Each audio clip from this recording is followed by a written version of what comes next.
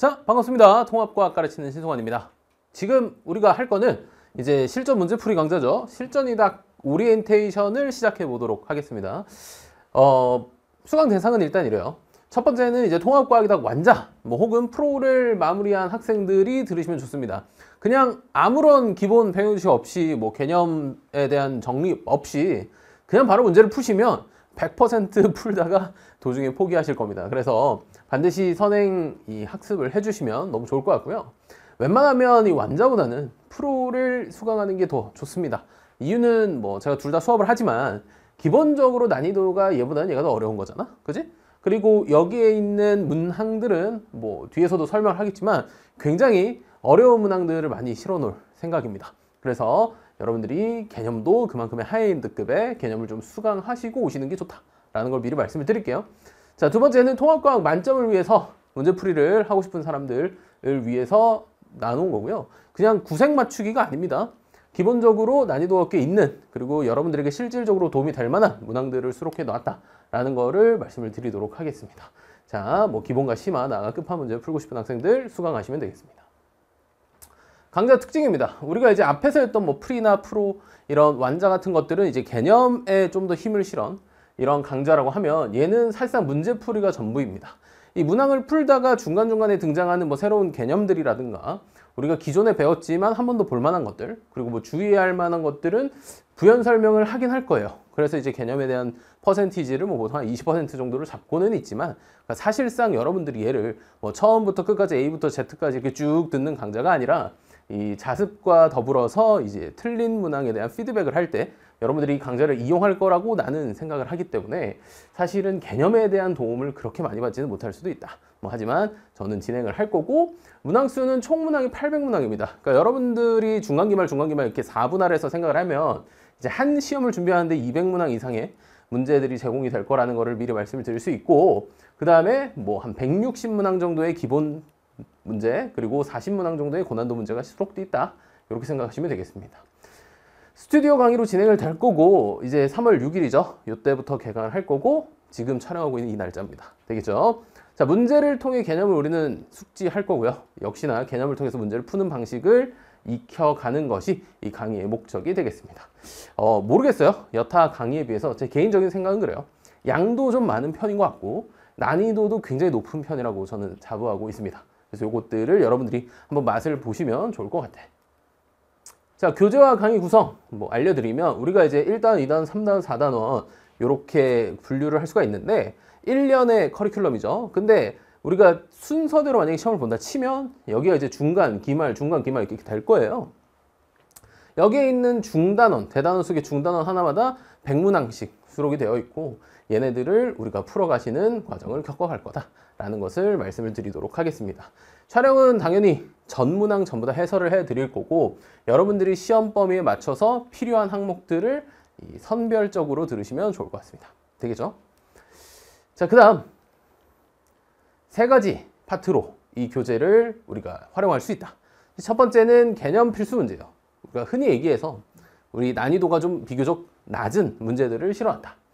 근데 제가 난이도가 낮다고 얘기를 하는데 뭐 현장에서나 아니면 뭐 작년에 이 수업을 들었던 학생들의 평을 들어보면 사실 개념 필수 문제가 웬만한 교재 이 고난도 문제랑 비슷하다고 하더라고. 그래서 어, 만만하게 덤빌 문제들은 아닙니다. 그리고 요거 한번 살펴보시기 바라겠고 고난도 문제는 이제 제가 직접적으로 변형한 문제들도 많고 이 문화생지 원투에서도 발췌한 문제들이 꽤 많기 때문에 여러분들 입장에선 굉장히 어려울 수 있다라는 것을 미리 말씀을 드립니다.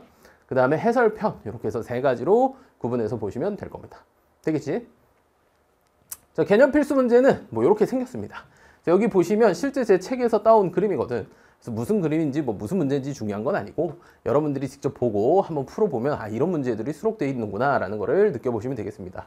일단 기본적인 베이스는 교육청 모의고사 그리고 변형 문제입니다. 일단은 통합과학은 수능 대상 과목이 아니에요. 교육청에서만 주최하는 모의고사만 보기 때문에 이 고1 때 보는 모의고사 문제를 전부 다 제가 수록해 놨고 이 여러분들이 지금 촬영하고 있는 이 시점이 3월 초거든? 이 고1 학생들 기준으로는 3월 모의고사 때 뭘 보냐? 중3 전범위를 본단 말이죠. 맞죠? 그러면 고2, 3월 때는 뭘 보겠어, 이 학생들은? 고1 전범위를 볼 거 아니야. 맞지? 그래서 고2 3월 교육청 과학에는 통합과학 문제가 등장을 합니다. 그래서 걔네들도 싹싹 긁어서 다 실어놨다. 라는 거 미리 말씀을 드리도록 하겠습니다.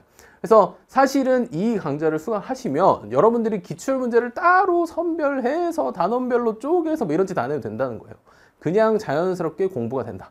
라는 거 말씀을 드리도록 하겠습니다. 그리고 이 문제에서 여러분들이 좀 보셔야 되는 거는 이런 제시된 자료들이 중학교 때랑은 달라요. 중학교 때는 우리가 시험에서 만나게 되는 뭐 자료나 그림이나 심지어 실험 같은 것들도 전부 다 미리 알고 들어가. 그러니까 뭐 무슨 실험 나올지 알고 들어간다고. 그럼 실험에 행위하는 그림만 봐도 아, 이거 무슨 실험 하고 있구나. 여기서 내가 알아야 되는 건 뭐구나. 라는 거를 알고 문제를 풀게 돼.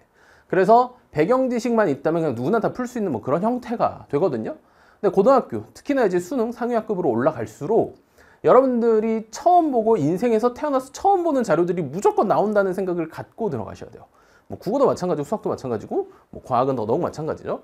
그래서 태어나서 처음 보는 자료를 볼 가능성이 높은데 그 자료를 그 즉흥적인 상황 속에서 해석할 수 있는 능력을 요구하는 문제들이 굉장히 많습니다. 특히나 과학에서는 그래요.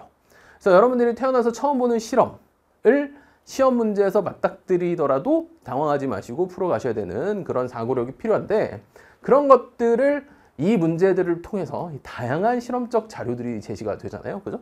이런 것들을 통해서 여러분들이 연습을 좀 많이 해봤으면 좋겠다라는 게 이제 제 개인적인 소견입니다. 되겠지? 자, 여기는 이제 가볍게 풀어주시면 되고, 두 번째는 이제 고난도 문제예요. 물화생지 원과목과 투과목. 사실은 이제 물화생지 2에서도 여기에 들어가는 단원들이 꽤 많거든요. 그래서 거기에 있는 모의고사를 저는 이제 다 공부를 하죠. 그래서 실제로 모의고사들에서 필요한 것들, 통합과학에서 써먹을 만 하겠다라는 것들을 제가 이제 발췌를 하고 그 와중에 뭐 범위에 안 겹치는 애들 있잖아요. 뭐 보기에서. 그런 애들은 제가 이제 수정을 하거나 변형을 하는 형태로 문항들을 실록, 수록을 해 놓았다. 그래서 기본적으로 제시된 자료나 기본적으로 요구하는 사고력의 요구치가 높아. 그래서 난이도가 높다. 이렇게 우리가 느끼는 거고 단 제가 여기에 써놨지만 난이도를 높이기 위해서 하는 방법이 두 가지가 있어요. 첫 번째는 학생들이 모를 만한 자료들을 갖다 놓으면 난이도가 올라가거든요. 근데 그런 것들은 사실 우리에게 큰 도움이 안 돼요. 그래서 뭐 지엽적이란 말 자체가 웃기긴 하지만 그러니까 교과 범위 밖에 있는 내용을 가지고 막 그럴듯하게 실어놓는 이런 문제가 아니고 핵심적인 교과 내용을 요구하지만 사고력이 깊은 거죠. 그러니까 단순하게 보는 게 아니라 우리가 배웠던 것을 깊은 사고를 통해서 해결하는 이런 문제들을 수록해 놓았다. 그래서 난이도가 높다는 의미가 태어나서 처음 보는 거를 보게 하겠다 이런 의미가 아니고요. 여러분들이 아는 내용인데 우리가 생각을 어느 정도까지 깊게 할 수 있느냐라는 것을 요구한다. 이게 되게 중요한 문제 핵심 내용입니다. 그 다음 시중 문제 중 제 개인적인 생각은 그래요. 가장 높습니다. 그러니까 이 통합과학, 뭐 나아가서 과학 강사를 한다는 게 좋은 점이 뭐가 있냐면 이 총판에서 책을 보내주세요. 다들. 그래서 뭐 제가 뭐 따로 돈을 들이지 않고 뭐 필요하면 제가 직접 구매하기도 합니다만 이 책들을 전부 다 볼 수 있어. 그래서 이 통합과학 시중에 나와 있는 교재는 그냥 전부 다 검토하고 전부 다 풀어보거든요. 근데 여기에 있는 문항보다 어려운 문항을 수록해 놓은 문제집은 이때까지 본 적은 없습니다. 그래서 여러분들이 필요로 하다면 내가 우리 학교 내신이 기본적인 시중에 나와 있는 일반적인 내신보다 조금 벗어나는 것 같다라고 한다면 사실상 뭐 이런 말씀 드리면 제 말 제 입으로 하긴 좀 민망하지만 유일한 대안이 이 책이 아닌가라는 생각을 하고 있습니다. 그래서 여러분들이 한번 구입하셔서 풀어보시면 그 내용이 무슨 내용인지 알 수 있을 겁니다. 여기 보시는 것도 뭐 화학 변화 파트 이렇게 실려 있는데요. 이 중화 반응이라는 것 자체를 우리는 배워요. 그죠? 중화 반응이라는 핵심적인 개념은 그대로 있는데 이 중화 반응을 이어가는 데 있어서 깊은 사고력이 필요하다. 뭐 경우의 수도 나누고 뭐 여러 가지 것들이 필요하거든. 그런 것들을 요구하는 문제들입니다. 꼭 좀 한번 보시길 바래요. 마지막은 해설편입니다. 여러분들이 이제 교재를 구매하면 교재가 똑같은 게 두 권이 가요. 한 권은 문항편이 가고요. 또 한 권은 똑같은 문제인데 이제 해설편이 갑니다. 그 이유는 해설을 제가 직접적으로 다 풀어서 써놨기 때문인데 가령 이런 식이야. 이게 이제 여러분들의 문항편이고 문항편이라 한다면 해설편은 어떻게 되어 있냐면 이렇게 돼 있죠. 뭐잘안 보여도 상관없어요. 뭐냐면 답과 보기에 대한 근거, 문제에서 우리가 읽어야 되는 것들 이런 것들을 이제 제가 가르치는 학생들이 제가 풀어내는 방식으로 보시는 게 제일 중요한 거 아니겠어요? 그래서 그런 것들을 전부 다 수록해놨어요. 이 보시면 얼마나 귀찮겠어. 그 내가 다 쓴 거야 이거. 어 일일이 다 썼어요. 봐봐. 어 일일이 다 썼다. 그래서 학생들에게 필요한 것들을 이제 뭐 중요한 건 빨간색, 설명은 검정색, 뭐 추가적으로 부연 설명할 만한 거는 파란색 이런 식으로 제가 색깔도 정해서 다 써놨다. 그래서 여러분들이 자습하기에 최적의 환경을 만들어 놨으니 그런 것들을 잘 활용하셨으면 좋겠고 여기도 마찬가지야. 문제 하나를 푸는데 이렇게나 깊은 사고가 필요를 해요.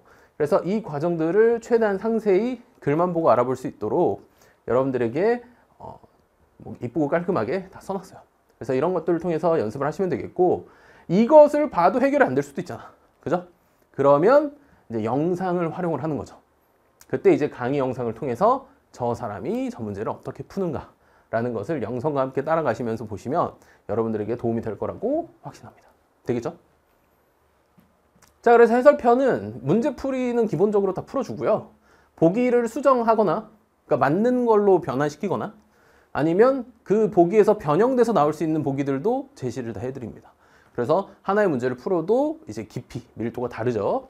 두 번째는 이제 필수적인 개념, 그리고 이제 주요 개념은 아까도 얘기했지만 한 번 더 정리하고 설명하기도 합니다.